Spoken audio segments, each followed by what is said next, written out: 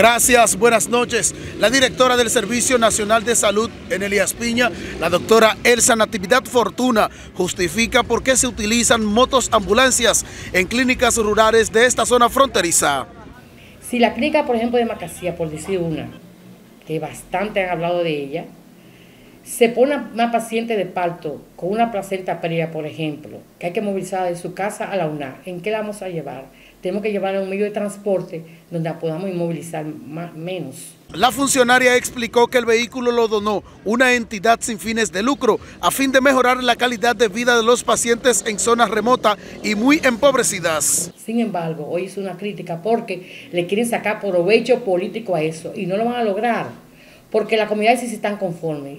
Y una muestra de eso, Sandy, ve, hagan un video, a mí me gustaría que ustedes vayan a ver la comunidad, de cómo se siente la población con ese servicio que no lo.